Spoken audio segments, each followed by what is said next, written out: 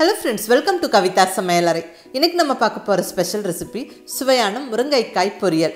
ஒரு அருமையான டிஷ்ஷு சிம்பிளான ரெசிபி டக்குன்னு பண்ணிடலாங்க. ரொம்ப நல்லா டேஸ்ட்டாக இருக்கும். ரொம்ப ஹெல்தியானதும் கூட.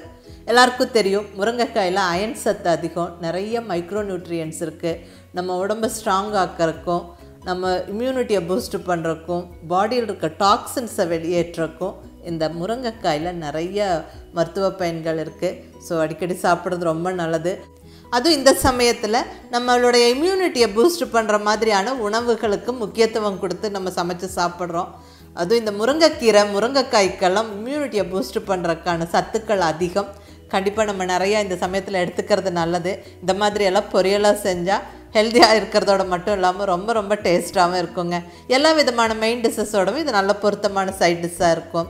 இல்லை நல்ல சாதத்தோட கலந்து சாப்பிடலாம். அட்டகாசமாக இருக்கும். முக்கியமாக ரொம்ப ஒரு சிம்பிளான டிஷ் இது. டக்குன்னு செஞ்சிடலாம். புதுசாக சமைக்க பழகிறவங்க கூட ஈஸியாக செஞ்சிடலாம். வாங்க அருமையான முருங்கைக்காய் பொரியல் எப்படி பண்ணுறதுன்னு பார்க்கலாம். இப்போ இங்கே ஸ்டவ்வில் கடாய் வச்சாச்சு. கடாய் சூடானதுக்கப்புறம் ரெண்டு ஸ்பூன் ஆயில் சேர்த்துக்கிறேன் எந்த எண்ணெய் வேணாலும் சேர்த்துக்கலாங்க. பட் தேங்காய் சேர்க்கும் போது ரொம்ப நல்லா டேஸ்ட்டாக இருக்கும். இங்கே நான் ரெண்டு ஸ்பூன் தேங்காய் சேர்த்துருக்குறேன். இதில் அரை டீஸ்பூன் கடுகு அரை டீஸ்பூன் சீரகம் சேர்த்து பொரிய விட்டுடலாம் அடுத்தது நல்ல ஒரு அஞ்சாறு பல் பூண்டு நல்லா இடிச்சுக்கலாம். இடித்து நம்ம அந்த எண்ணெயிலே சேர்த்து நல்லா ஃப்ரை ஆக விட்டுட்டு மற்ற இன்க்ரீடியன்ட் சேர்க்கும்போது அந்த வாசனையும் டேஸ்ட்டும் நல்லாயிருக்கும்.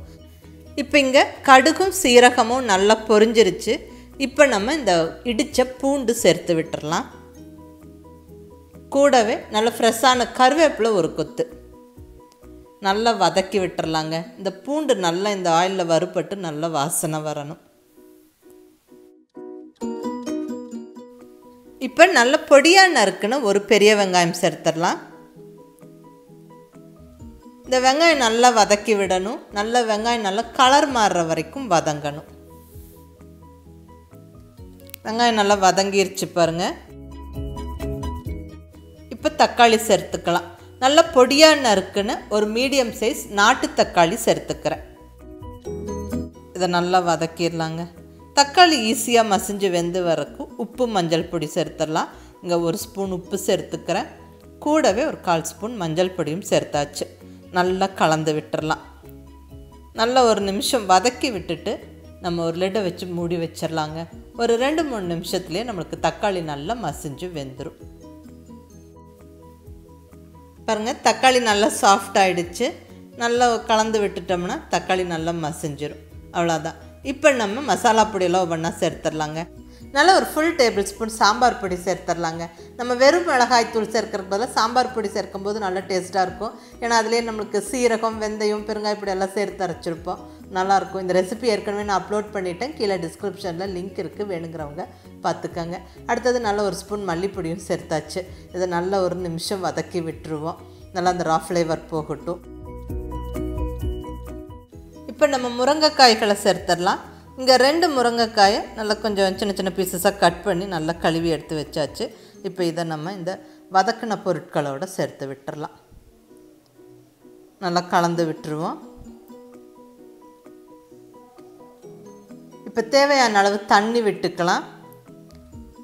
இங்கே நல்ல ஒரு பெரிய டம்ளர் தண்ணி சேர்த்துக்கிறேன். நல்லா கலந்து விட்டுட்டு மறுபடியும் மூடி வச்சிடலாங்க. நல்லா வெந்து வரட்டும். ஒரு ஏழு எட்டு நிமிஷம் நம்ம மீடியம் ஃப்ளேமில் இந்த முருங்கைக்காய் மசாலாவை நல்லா கொதிக்க விடுவோம். இப்போ ஏழு எட்டு நிமிஷம் கழித்து ஓப்பன் பண்ணுறேங்க முருங்கைக்காய் ஆல்மோஸ்ட் வெந்துருச்சு. நல்ல கிரேவியும் திக்காக இருக்குது இந்த ஸ்டேஜில் கொஞ்சமாக நான் உப்பு சேர்த்துக்கிறேன். நம்ம ஏற்கனவே தக்காளி வதக்கும் போது உப்பு சேர்த்துருந்தோம். ஸோ டேஸ்ட் பண்ணி பார்த்துட்டு பத்தாமல் இருந்தால் சேர்த்துக்கோங்க. உங்கள் டேஸ்ட்டுக்கு தகுந்த மாதிரி. நல்லா கலந்து விட்டாச்சு. இப்போ அகைன் மூடி போட்டு மூடி வச்சிடலாம். இன்னும் கொஞ்சம் முருங்கைக்காய் வெந்து நல்லா அந்த மசாலாலாம் திக்காகட்டும் நம்ம இப்போ பொரியலாக பண்ணுறோம் ஸோ கொஞ்சம் திக்கானதுக்கப்புறமா நம்ம எடுத்துக்கலாம். அவ்வளோதாங்க நல்ல கம கமன்னு வாசனையோட சுவையான முருங்கைக்காய் பொரியல் ஜம்முன்னு ரெடி ஆகிருச்சு ரொம்ப ஒரு சிம்பிளான ரெசிபி இது. டக்குன்னு செஞ்சிடலாம். ரொம்ப நல்லா டேஸ்டியாகவும் இருக்கும். நல்ல ரச சாதம் தயிர் சாதத்தோடலாம் தொட்டு சாப்பிட்றதுக்கு அட்டகாசமாக இருக்குங்க. இல்லை நல்ல வெறும் சாதத்தோட இது கலந்தும் சாப்பிடலாம். ரொம்ப ரொம்ப நல்லாயிருக்கும். ஸோ ரொம்ப சிம்பிள் அண்ட் ஈஸியாக செய்யக்கூடிய அதே சமயம் ரொம்ப ஹெல்தியான இந்த முருங்கைக்காய் பொரியலை மிஸ் பண்ணாமல் ட்ரை பண்ணி பார்த்துட்டு எப்படி இருந்துச்சுன்னு உங்கள் ஃபீட்பேக் சொல்லுங்கள் பிடிச்சிருந்தா லைக் பண்ணி ஷேர் பண்ணி கமெண்ட் பண்ணுங்கள் கவிதா சமையலரை சப்ஸ்கிரைப் பண்ணி என்னுடைய மற்ற ரெசிபிஸும் வீடியோஸும் பாருங்கள் தேங்க்யூ